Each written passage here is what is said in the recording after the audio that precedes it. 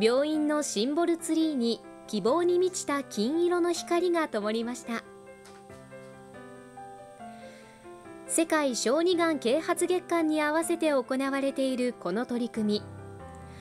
地域を象徴する建物などを小児がん啓発のテーマカラーである金色にライトアップします。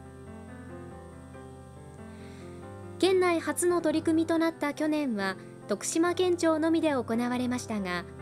今年は病院2カ所を含む徳島市内4カ所でライトアップが実施されました。徳島県立中央病院と徳島大学病院では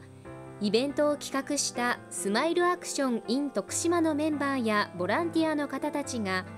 スマートフォンの画面を患者さんのいる病棟の窓に向かって光らせ応援の気持ちを伝えました。がんと闘う子どもたちやそのご家族が輝かしい未来を笑顔で過ごせますように。願いが込められたゴールドのライトアップはご覧の4カ所で行われています。